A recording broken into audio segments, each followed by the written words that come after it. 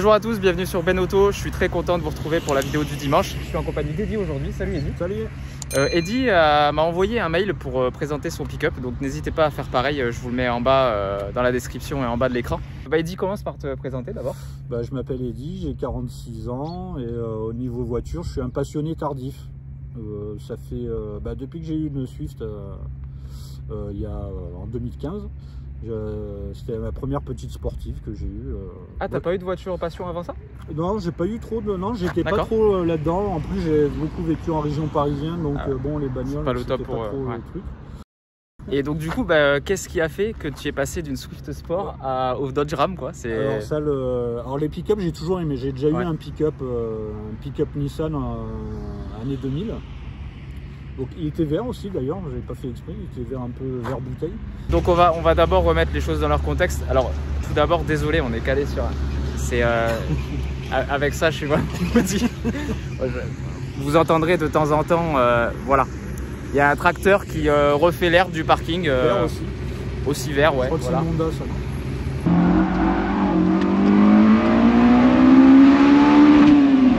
Le Dodge Ram, tout d'abord, Eddie, n'hésite pas à me reprendre si Ouais. surtout je me trompe parce que c'est un vrai merdier euh, de comprendre. euh. Voilà. Le Ram, on le présente plus, c'est vraiment euh, une icône aux États-Unis. Autant que le Ford F-150, je pense. Ah oui, oui, oui, maintenant ouais. Très concurrent d'ailleurs du Ford F-150. Donc au début, il s'appelait euh, série D et série W. Le D pour euh, deux roues motrices, propulsion, et le W pour euh, quatre roues motrices. Donc il a été produit, en, en tout cas ces générations-là, de 60 à 1993 avant qu'il passe sur le nouveau RAM. Ouais, où tout a été nouveau. celui de Chuck Norris dans. Exactement. Voilà. Chuck Norris. On va parler beaucoup de Chuck Norris, de Redneck et tout dans cette vidéo. Chuck Norris n'est jamais couché. C'est la Terre qui s'incline de 90 degrés. Du coup, il y a eu quatre grosses générations, de 60 à 65, 65-71, 71-80 et ensuite 80-93, donc ta génération. Ça. Et ça, cette génération-là, c'est la première à être appelée RAM d'ailleurs. C'est ça. Dodge en fait, euh, la vraie marque Dodge est apparue en, quat- en- je parle Dodge automobile. hein. Ouais. En 1914, Dodge fait vraiment partie des premières marques à sortir des voitures. Donc la marque c'était Dodge euh, and Brother, donc c'est deux, deux frères qui étaient vachement soudés tous les deux, euh, qui s'appréciaient beaucoup. Malheureusement, en 1924, il y a un des deux frères qui décède euh, euh, d'une pneumonie et le frère, six mois après, il passe aussi. De, on ne sait pas trop pourquoi. C'était de tristesse où il s'est laissé mourir. voilà. La marque a appartenu à une banque jusqu'en 1928. Et en 1928, bah, c'est Chrysler qui a racheté Dodge. Voilà. Et 2011, euh, bah, 2011 c'est Fiat qui a racheté Chrysler et Dodge. Pour la petite anecdote, même euh, Ram, c'est devenu une marque un Ah, peu comme fait- DS. comme d'accord, ok. voilà. Mais par contre, c'est une marque euh, pour véhicules euh, utilitaires, c'est-à-dire les pick-up. Euh, voire maintenant, vous voyez un Fiat Ducato, bah, vous verrez marqué RAM dessus. Quand tu dois rouler en Fiat Ducato euh, aux États-Unis, euh, c'est dur. C'est dur. C'est ça. Mis à part le, le mot RAM qui a été rajouté, qui veut dire Ouais, ouais. petite anecdote bélier en, D'accord, donc- euh, le véhicule est pratiquement le même, à part euh, les, les listings de- des calandres, euh, comme ils ont l'habitude de faire, comme tous les constructeurs ont l'habitude. Ouais, ouais. hein. La voiture, c'est toujours les mêmes, mais ils changent les calandres, les haillons, et puis ils font des petites modifs euh, moteurs. Alors Eddy, on va faire le tour de ton pick-up. Alors d'abord, euh, tu me disais tout à l'heure hors caméra qu'il avait une, une belle histoire. Ce, ce- j'allais dire petit pick-up, mais pas du tout. en fait. Bah, bah, c'est pas faux quand tu dis petit pick-up. Déjà, c'est le plus petit modèle en voilà, taille. C'est la hein. version la plus Voilà. petite du, du C'est RAM. ouais. c'est une cabine simple, Ouais. euh, simple cabine, avec euh, une, benne, une short benne, c'est-à-dire une benne courte. Alors raconte-nous un petit peu l'histoire qu'il a ce pick-up. Alors la, la particularité déjà, euh, alors au début moi quand je l'ai acheté, euh, je savais rien sur le pick-up. Moi j'ai juste eu des photos, savoir s'il était en bon état, bien entretenu, machin. Et les mecs ils m'ont rien dit. Et je, je pense qu'ils le savaient pas eux-mêmes. Ok. Et comme, euh, comme euh, pour toutes les choses que je fais, euh, quand j'achète un véhicule, je me renseigne, je m'inscris dans des forums, je, Ouais, ouais, bien je sûr. me suis inscrit Ouais, sur. Facebook, sur plein de, de, de groupes américains hein, et canadiens aussi, pour avoir des infos. Et quand j'ai mis les photos, ouais, il est beau, ben, ah, c'est un ancien des. Ils me demandaient tous si c'était un ancien des services forestiers américains. Par rapport à la couleur? Par rapport à la couleur. Parce que c'est une couleur unique, mais je l'ai su par la suite. Cette couleur-là, à chaque fois que vous verrez un pick-up américain avec cette couleur-là, c'est que c'est un ancien euh, des services forestiers américains. C'est une couleur qui a été faite euh, spécialement pour pour eux. Voilà. Donc c'est un espèce de vert, euh, vert, euh, vert clair. Comme euh, chez nous au final pour les véhicules de la poste par exemple. Voilà, c'est exactement. En fait, c'est un, véhicule de la fonction publique, mais de, des, c'est gardes forestiers euh, américains et incendie aussi.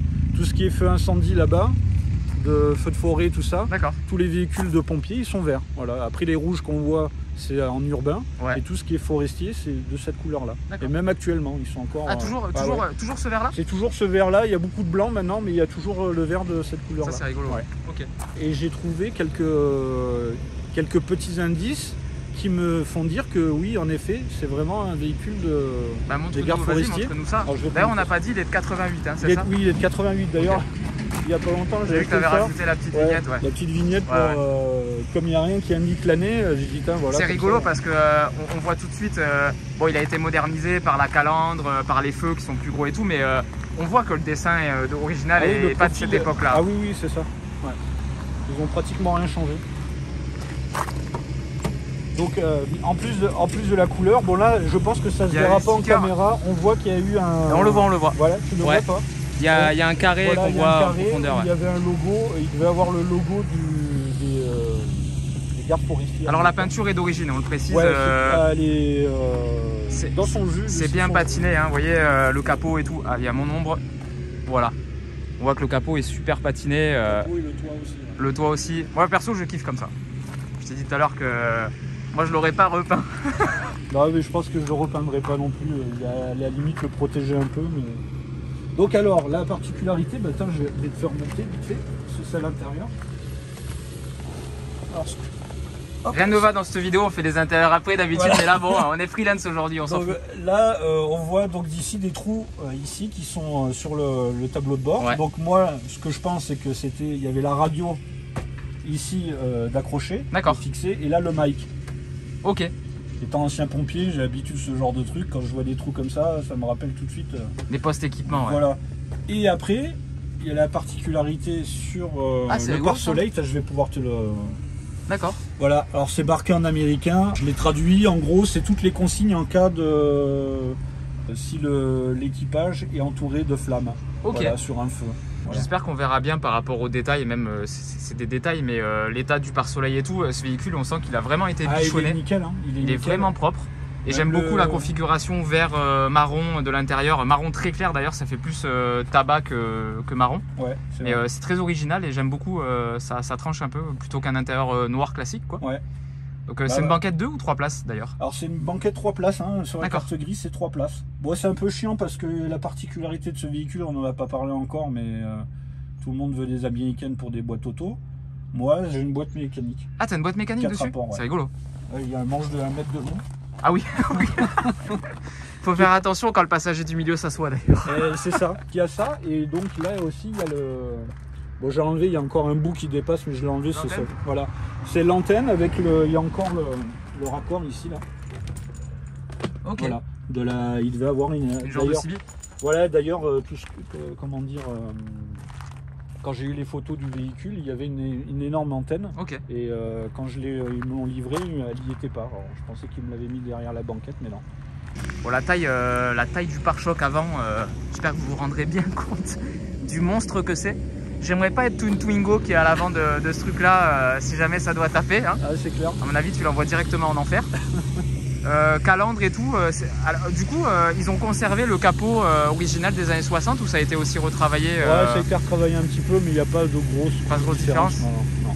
De toute façon, euh, tout se passe au niveau de la, de la calandre, je suppose, au niveau des modifs euh, alors, esthétiques. oui, alors déjà, le, le- de 81, donc euh, la création du RAM, à proprement dit, comme on le connaît maintenant, jusqu'à 93, ça a changé trois fois de calandre.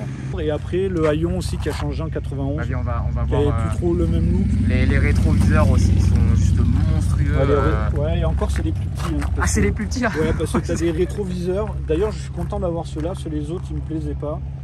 C'était des trucs à trois points avec des branches, donc carrément fixés sur la, Sur la tôle de la, car- sur de la la porte. tôle. Ouais, ouais. C'est genre tu te fais euh, ramasser, on te ramasse La ramasse porte. la portière avec. Ici couleuvre. On a eu un petit problème avec la portière là. On passe à la benne du coup. euh, on, on voit hein, qu'il a, qu'il a travaillé, mais euh, franchement, il n'y a rien de, de Ah non, tordu. De... ah oui, non, non. Il a vraiment été respecté ce véhicule et. Là, là où on voit, c'est euh, bon, on voit qu'il a un petit pop quand même, mais Ouais, sur le passage en de général, ça, souvent, c'est de défoncer les passages. Ouais, parce que il y a les trucs qui, euh, qui bougent de gauche à droite et qui Voilà, viennent défoncer la tôle. euh. Non, non, là on voit que c'est hyper. euh, Alors après, Qu'est-ce qu'il sais- transportait du coup à l'époque Ben, avec ça C'est la grande question. Du bois, des branches euh, Euh, je sais pas, parce que je pense qu'il était surtout prévu pour les, pour les incendies, vu les consignes. Et euh, je pense qu'il est peut-être qu'il y avait un système d'autopompe, euh, de motopompe euh, avec un. Ou alors peut-être un genre de gros réservoir Ou euh, des réservoirs d'eau, Ouais, ouais. peut-être. Il y a aussi des points d'ancrage d'origine. Ouais, ça c'est sympa. C'est très esthétique, en plus, hein. Moi qui ai déménagé pratiquement euh, quelques mois après l'avoir eu, d'entrée, des sangles, hop, tu fixes tout. Puis il y a une capacité, pourtant c'est une benne courte. Et comme elle fait 2 mètres de large, la benne, Ouais, tu peux mettre n'importe quoi. Tu, Ouais, peux mettre, tu peux charger à fond. Bon, on va parler de, de ça aussi. euh. Ça Le pot, il- Ah, il est- l'échappement, Ah ouais. non, mais c'est. euh, Ah, pas loin. Peggy 18. Alors il faut, le, le petit truc aussi, c'est que le, comme il vient de Californie, euh, dans les années 80, ils étaient déjà euh, écolos à mort. Bon, il y a des écolos qui roulent en V8, Ouais. mais bon. écolo. ouais. Voilà.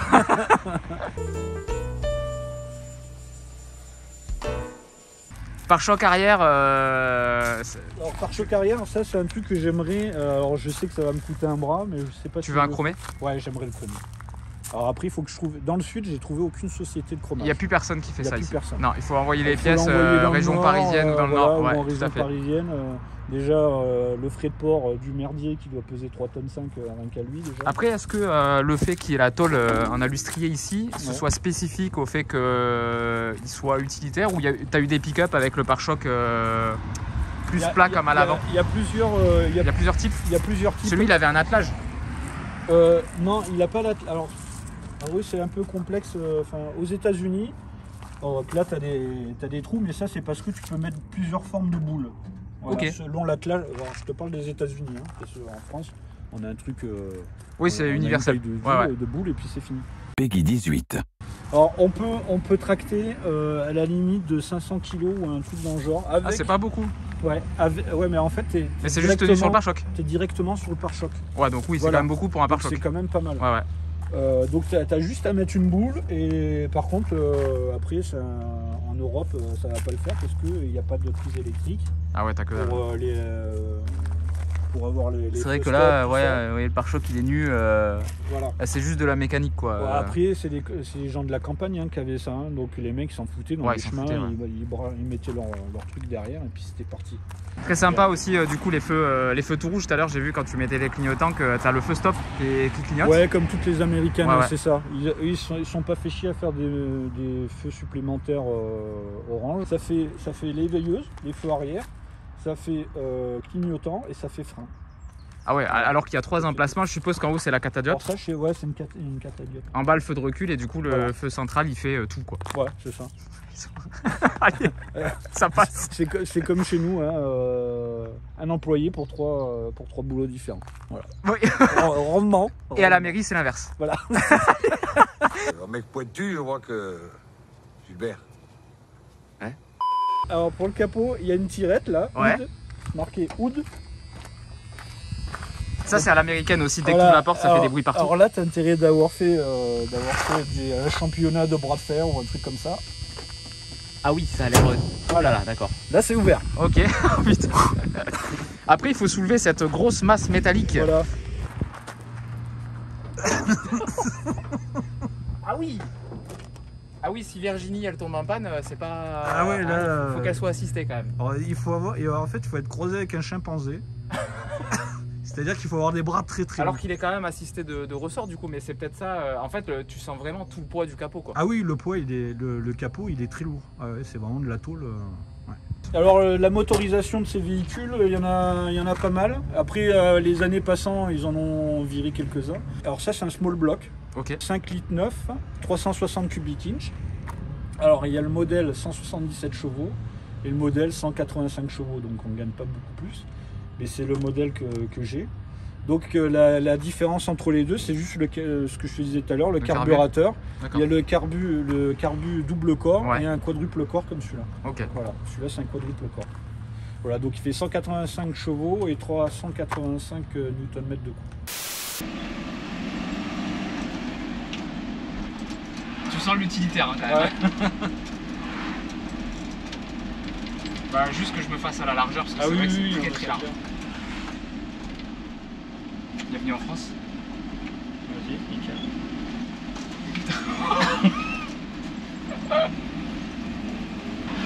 J'aime bien quand tu prends un trou, tu rebondis encore 50 mètres après. Ah bah c'est joueur du cul, hein, euh, sur les routes pourries, euh, ça peut surprendre. hein. Et puis la direction, t'as zéro feeling. Il Ouais, se ouais. passe que dalle. tu sens que la, la DA elle est surmultipliée. Et en fait, euh, En fait, c'est le, que volant, le volant, il est, il y, a, il y a vachement de jeu en fait. On va rebondir jusqu'à Nîmes. Après, à cruiser, c'est super euh, sympa quoi. Euh, Il faut, c'est, fait pour rouler tranquille. Ah oui, ça, Après on va les pas dire virages- une petite route. Après les, vi- après les virages, euh, bon, c'est spécial parce que vu que tu es en banquette, tu te fais vite rappeler à l'ordre. hein. Quand tu vois que tu as ton cul qui commence à glisser sur le siège passager, c'est que faut que tu arrives moins vite. Quoi. Ouais, J'imagine. Surtout qu'avec le, le cuir, ça glisse, ça glisse à mort. Ouais, en plus, ouais. Après, comme tu dis, c'est vraiment pas fait pour vite. Quoi. Non, non, non, c'est vraiment. Après, ça, sur l'autoroute ou euh, quand tu, tu veux doubler euh, un véhicule lent, ou... Fr- franchement, il y a de la gouache. hein. Tu, tu sais que tu peux, tu peux t'insérer dans une circulation, mais sans problème. T'as l'impression de prendre mais toute la route, c'est abusé. Ouais, c'est ça. Ben, les gens, ils se poussent, hein, ils ont tendance Ah, à je se vois pousser. ça. Ouais, ouais, bah regarde, il y a une camionnette qui. La, la boîte, elle est tellement euh, courte, enfin, ouais, courte que tu roules à 40 en quatrième, euh, ça broute pas, ça, ça roule normal, quoi. Et t'as de la reprise. En plus, quand tu braques comme ça, Ouais. en 90 degrés, j'ai l'impression d'avoir le, le train avant sous, un, sous la glace. Ouais, un Ça, peu, ouais. que, tu vrai. à mort en fait. Alors Bah que pas du tout ça tourne, hein, mais Ouais, c'est juste le feeling dans la direction qui est ultra bizarre. Ah oui, le- la direction, moi au Enfin, le début, feeling, il n'y en a pas en fait. j'ai eu du mal mal au début avec la direction. Ah, C'est- surtout que quand tu dois passer de la Swift Sport à celui-là, euh, le V8, on l'entend pas, tu disais tout à l'heure, c'est vrai Ah oui, que ça c'est manque de. c'est très discret, on ça pas manque, du tout quoi. ça manque de bruit, ouais. Il n'y a que quand tu tapes dedans en troisième et que tu, tu mets les watts. Allez, vas-y, mets-y un coup là, dans la ligne droite. Là. À fond, hein. Vas-y. hein. Ah oui, la pédale elle s'enfonce, mais Ouais, euh, tu peux- on dirait que t'as 6 cm de ouais, moquette. ouais, c'est ça. Mais en fait, tu peux l'enfoncer vraiment Elle est fort. très dure la pédale et t'as l'impression de mettre gaz à fond alors que, que pas du tout quoi. C'est ça. Là par contre on croise quelqu'un, on est Ah mort. oui, là, on était mort. on était Dans le canal direct. Euh, je crois qu'elle est pas étanche vu les joints des portes. Vous avez vu, hein C'est bien isolé, hein Pas une fuite. Par contre c'est vrai que ça demande euh, du coup une anticipation sur le ouais, fait ouais, de- le freinage, tout ça. le ouais. freinage et la place que ça prend Ouais, sur la route. c'est ça, c'est ça. Là, quand tu fais des grosses accélérations, c'est sur l'autoroute ou sur une belle ligne droite, quoi. Mais après, le reste, tu t'amuses pas parce que. Et encore, même sur sol mouillé, ça tient pas trop mal derrière, tu vois. C'est pas. C'est pas coupleux au point où tu vas patiner, tu vois. Ouais, ouais. c'est- Surtout que l'arrière est léger par rapport à Ouais, l'avant. ouais, c'est ça. C'est vraiment un état d'esprit. hein. Ah ouais, ouais, ouais. Là t'as juste envie de mettre euh, coude à la portière, Voilà, un, un peu de country. le country, Le country, chapeau de paille. chapeau de paille et voilà. Alors là. ok c'est bon. Ah, ça va.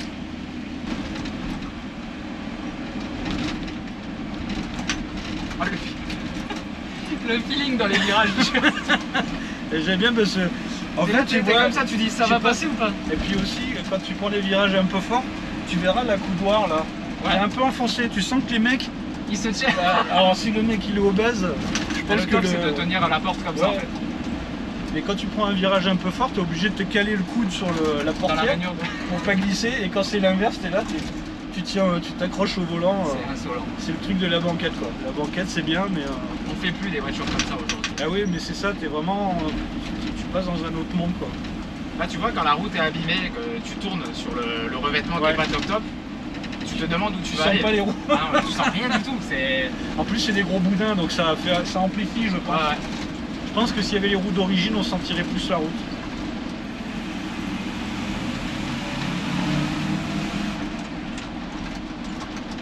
Faut vraiment le cravacher pour l'entendre, hein, le Ouais, V8, hein. ouais. Virage, faut freiner. Ah oui, c'est ça, autrement t'es dans la portière. Et là, même en quatrième, on est à 40 km/h. Ouais, ouais, c'est ça. t'as- Bon, là, t'es obligé de. On va éviter de tuer le. Tu vas rigoler la marche arrière. Là, t'as- là, si t'as tes couilles là, euh, bah, tu les as plus. Là, par contre, tu sens que c'est, tu sens que c'est ultra court. Dès que tu débrayes, Ouais, t'es tout de suite ouais. dans les tours. C'est ça. On va éviter de, de rayer quelque chose ou quoi. Non, c'est bon. je suis Oh, là. c'est bon, t'es loin. là. En plus, t'as les rétros, ils font loop, donc tu vois bien quand même où tu vas.